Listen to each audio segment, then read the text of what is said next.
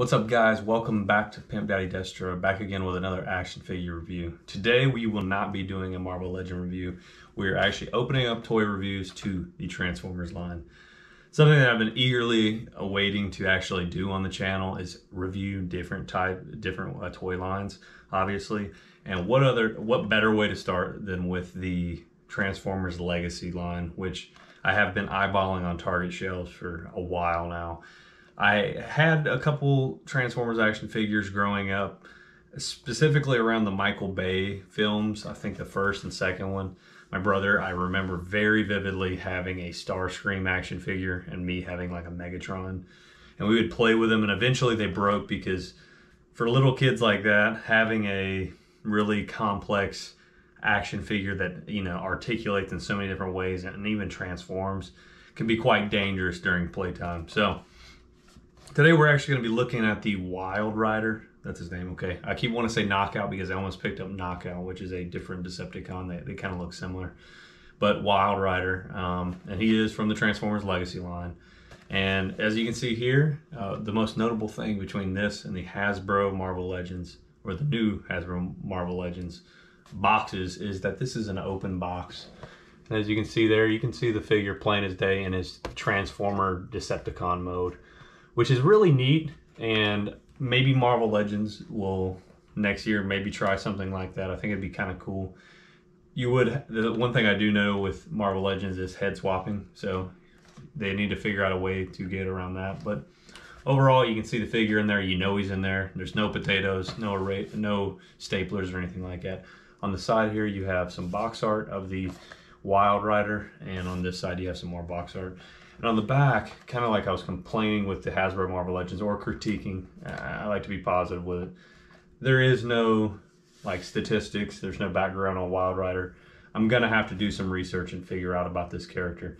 But overall, it shows him in his transform mode and in his vehicle mode. And it says there's 13 steps to get him from A to B. So, you know, for kids, you don't need that, right? Kids just want to play with it, want to see what the uh, finish and end product look like.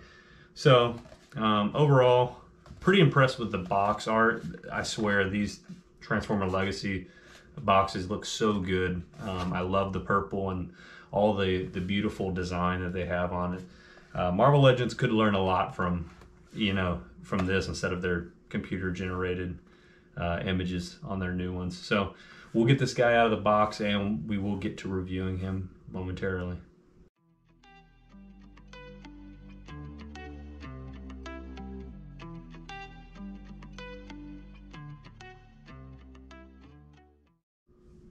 Alright guys, now that we have Wild Rider out of the package, as you can see, this is him fully transformed. Um, and please correct me in the comments below if I don't have him completely transformed. I followed the instructions as much as I could. And my biggest point of contention is the back here. Uh, the, the images don't really show exactly how this is supposed to be. I'm assuming it's supposed to look like wings like it is or a jetpack. But he does look really, really cool how I do have him transformed even if it is wrong. So he does come with two accessories, that being two laser blasters um, and they one they go in each hand. Oopsie daisy. Don't want to scratch this guy up any more than he probably already is from me, but he has his laser blasters, plenty of articulation to pose this guy, get him aiming at a Autobot, ready to take him out. Um, the cool thing with this, though, the little gimmick that comes with Wild Rider, probably with another Transformer, is that you can connect these together and make a uh, a dual cannon in a way, dual laser, which is really neat. So that's pretty cool. He has uh, he has guns as kind of his weapon of choice, which I thought was really neat. But overall, the figure has really really great articulation. And the one thing I really want to admire on this figure in particular, I'm not sure if the other Transformers have it, they probably do, but these really wide foot bases down here that kind of, that doesn't prove my point right there, but they do articulate well and they do support the action figure's weight pretty decently. Um, enough to where he can get into some pretty cool poses like that right there. You're never going to get a Marvel Legend kind of standing over himself. And he's probably that probably helps that his a lot of his mass is over here on his back to counterbalance. But overall, the figure is really articulated, really cool, um, pretty small, but that's okay. The Transformer, and he does retail for around the $22.99 price tag. And as you know, Marvel Legends are right around that same amount. So does this really compare? If you're a Transformers fan, I think so. Um, there's a lot more function uh, in this action figure. While Marvel Legends, you know, for $22.99, sometimes these days we don't even get an accessory with it. But it just depends, you know what I mean? Um, and where they kind of went out the door with that $22.99 is the kind of the paint apps on the actual transformed Decepticon version. Yes, there's some nice reds here and some metallic and blue, and the face looks pretty plain but nice. Um, most of the paint apps were put out on the outside, uh, like here on the fender and the door and the hood. It's got a nice wash over it. Um, but for that for that amount, I, I, I would be willing to get some more, especially if they went on clearance. I would love to grab some more of these guys. And you will be seeing more Transformers in the future. I do have one pre-ordered on Hasbro Pulse, and one should be on the way. So stay tuned for those. Um, we're gonna move on to the vehicle version of Wild Rider, and then after that, get to some action shots. So stay tuned, guys. Alright guys, now that we have Wild Rider transformed into his vehicle form, as you can see here, this Wild Rider is a sleek looking muscle sports car. Not sure what this is supposed to be of. Not sure if it's like a, it looks like a hybrid between a Corvette and a couple other cars, but definitely a unique design in my opinion. As you can see here, the, the car looks pretty good. You can see a couple of the notches, but that's with every Transformers. They're going to have pieces and gaps here and there, but overall looks really solid. Um, the paint on the actual vehicle itself looks awesome. I was kind of worried thinking that it wasn't going to be that detailed and it was just going to look like a generic dollar store toy, but overall looks really nice. Tons of decal, got some beautiful washes on it.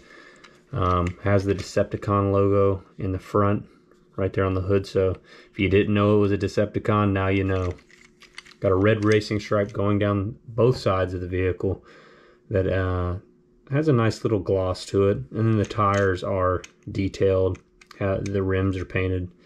Um, the biggest gripe I have with this vehicle version, and this may be just par for the course with all these other uh, Transformers Legacy toys I will have to see in the future, but the feet on the bottom, as you can see there, stick far below like the, the undercarriage here. So it causes the tires, the front wheel wants to move because it is the lowest point up there and it doesn't have anything hindering it. However, that foot piece right there is keeping the back wheel from wanting to turn. Every once in a while it will turn, but not the biggest gripe. I'm not going to be, you know, driving around anywhere um, or, or rolling it around that often.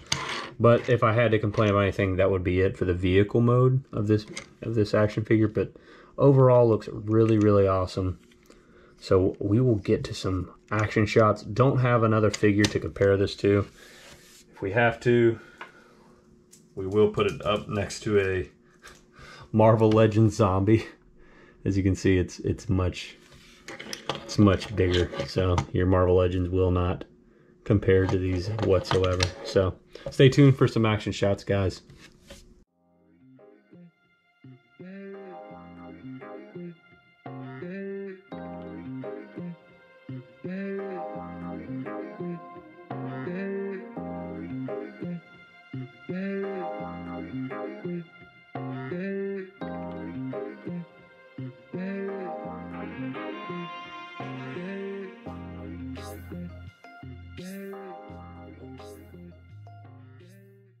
All right, guys, now that we have finished the review of the Wild Rider Transformers figure, please shoot me a like and a subscribe.